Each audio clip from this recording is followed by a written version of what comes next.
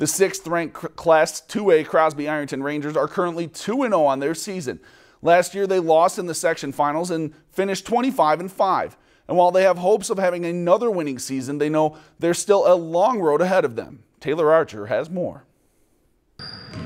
Well, it's still a young season for the Rangers, so all aspects of the game could use some work. We work on all facets of the game. You know, offense, defense, transition. That's just an ongoing process throughout the season. Right now, we're just probably trying to uh, hone in on some of the plays we're running, kind of really uh, get those get those down and uh, learn to run the offense, play well as a team.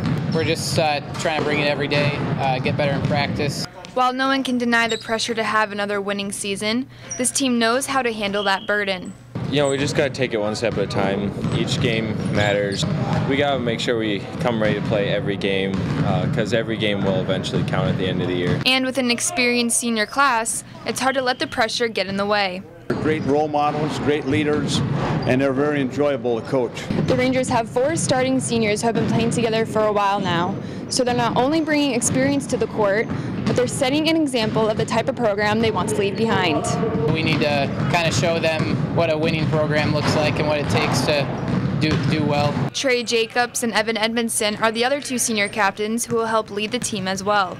We're in a situation where they want to take it one step further than last year. And this group of four certainly hope to help their team take that one extra step. In Crosby, Taylor Archer, Lakeland News. If you've enjoyed this segment of Lakeland News, please consider making a tax-deductible contribution to Lakeland Public Television.